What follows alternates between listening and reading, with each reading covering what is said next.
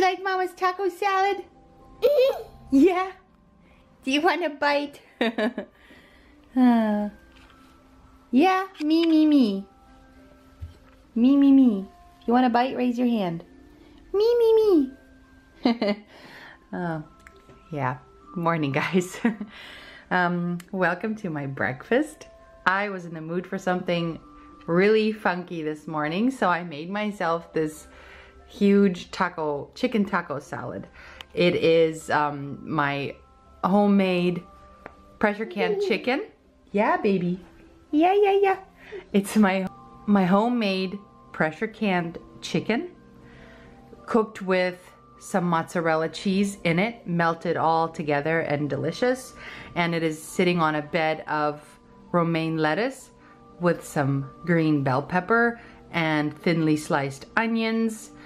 Um, um, um, um, and it's topped with my grass-fed organic yogurt instead of sour cream. It tastes basically the same, even better. And it has the probiotics in it. And on top, it's some organic salsa. Um, it's very, very low carb, the one that I found. You just have to check the label.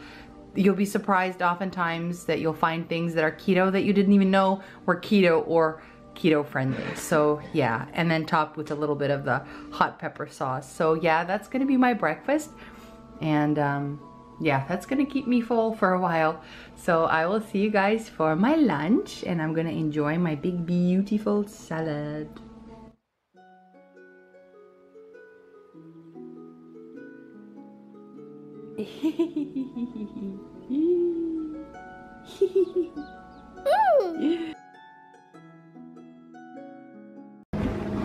well guys, I was afraid this day might come.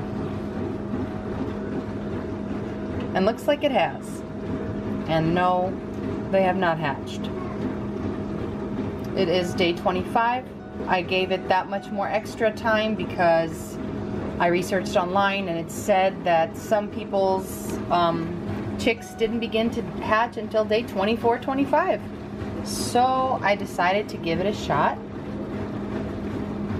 But uh, I kept noticing that this temperature kept going up and down, up and down, and it was just very unstable. So I had a bad feeling that something like this could happen.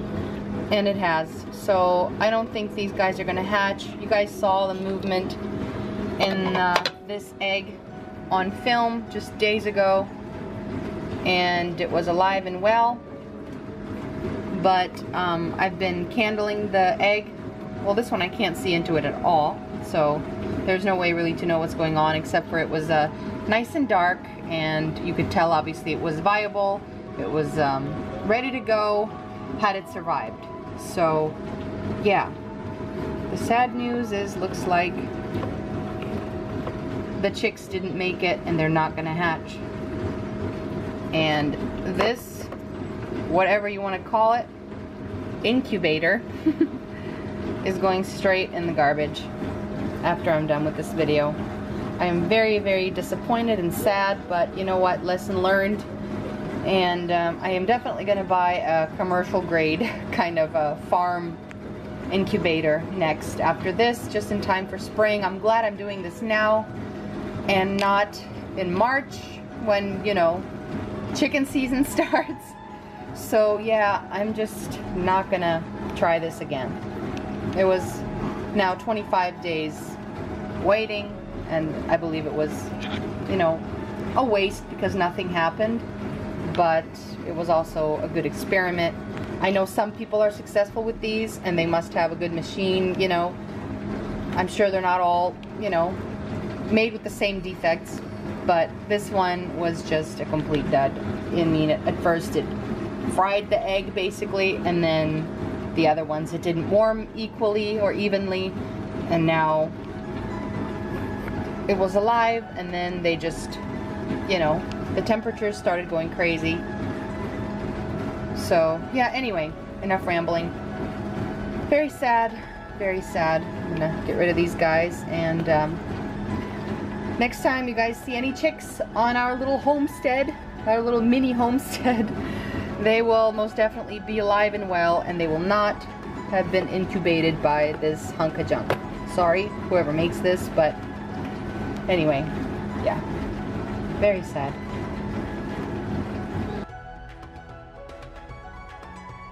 Like two hours scooping uh, old chicken um, bedding. And so, I'm just sprinkled with diatomaceous earth to kill any little bugs that we would not want there.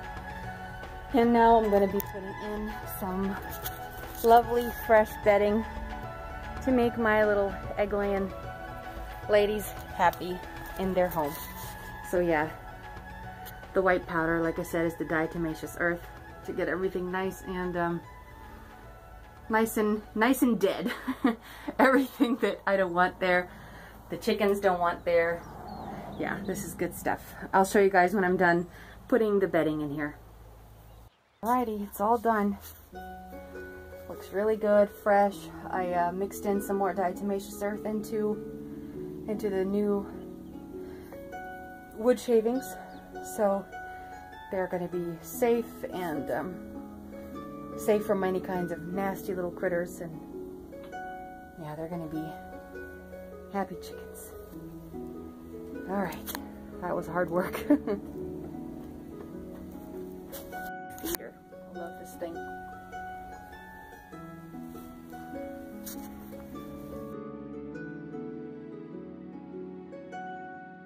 What you got there? Is that Mama's makeup brush? Yeah. what are you gonna do with it? As you can see, she's been playing in here. Little paper all over the carpet. She helped Mama decorate the floor. right? Did you help Mama decorate the floor? Oh yeah, good. Give it to Mama. Here. Yes. Yes, good Emmy. good Emmy.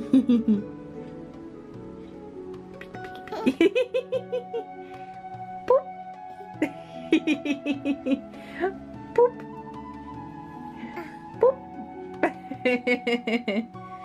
Does it tickle like a bunny? Ooh.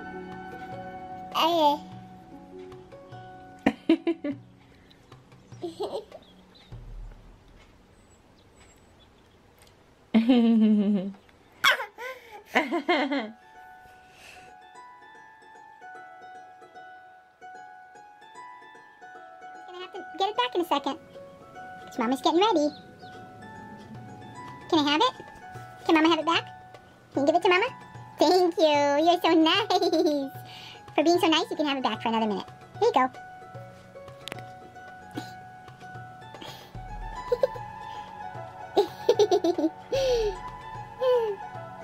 Can Mama have it back again? Mama have it back? Yeah, good. Say bye-bye. Bye-bye, Brush. Bye-bye, Buzz. Good, Emmy. Endless fun with Mama's little chipmunk toy from when I was a kid. it's so neat to see your kid playing with one of your toys that you used to have when you were little. Yeah, don't mind that over there. I'm folding laundry. Right, Emmy? Is it fun to play with Mama's old toy? You're getting ready. Here's my goodie bag. So much stuff in here. I keep all my makeup in a Ziploc bag because when my husband and I go to Germany, I have to do it anyway. So I just leave it there permanently. That's just how I like it. right, Emmy? That's how Mama likes it. Okay, can I have my brush back now? I need my brush. Thank you. Thank you. Hey friends, welcome to my lunch table. Today I'm having a beautiful romaine lettuce salad with um, some yummy crab meat on top. It's 100% crab meat. It's not those fake imitation crab legs. This is real crab meat and also some smoked salmon that I love to get at Costco. Uh, and also this is my homegrown alfalfa sprouts. And this is my favorite, by far, favorite grass-fed organic yogurt. Um, I buy this one. It is so delicious. It comes from 100% grass-fed um, cow's milk. And um, yeah, I like to use this instead of sour cream and other stuff, um, mostly. So yeah, I think I named it, oh I forgot, also there is some right there, shredded mozzarella. And yeah, it's topped with, aside from the yogurt, it also has some um, olive oil, extra virgin olive oil, only the Costco brand, as you all know, if you watch my other videos. And I'm having it with um, my non-bulletproof coffee. it's just a regular coffee, but with some of my favorite extras. I don't need to add any more extra fat. I don't believe you have to swim in fat um, to be keto, but I don't want to go off on that right now. But yeah, so there's plenty of fat in there in my salad. So yeah, I'll see you guys for my next meal. P.S. I forgot to mention the crab meat is sauteed in um, Kerrygold butter. So um, like I said, there's plenty of fat in there.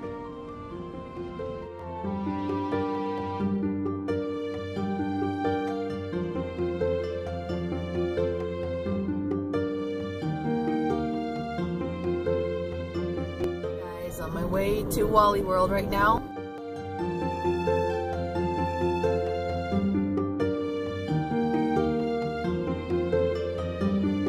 So you guys, I just got back from grocery shopping and I thought why not throw in a little video of what I got today on my quick little shopping trip.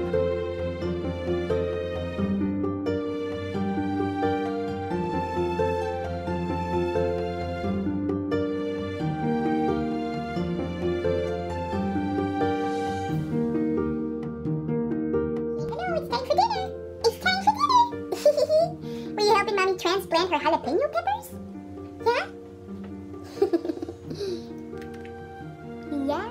yeah? There's the jalapeno peppers that I transplanted today.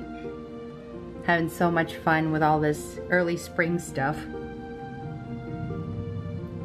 Like I said, in my head it's already spring. yeah.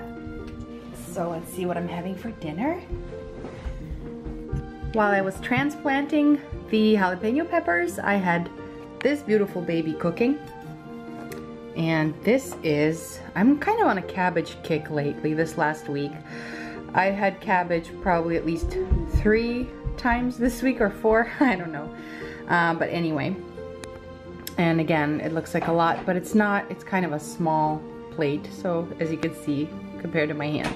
So yeah, this is uh, sauteed cabbage with onion, um, some parsley sprinkled in there, uh, sauteed in avocado oil, and um, I crisped up some bacon and uh, also tuna in there.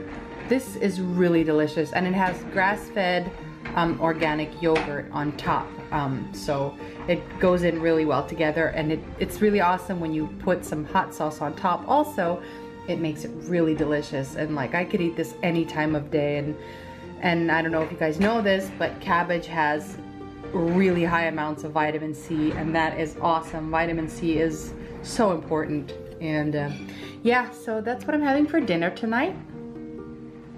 And um, make sure you subscribe and like and comment under the video. And I will see you guys next time.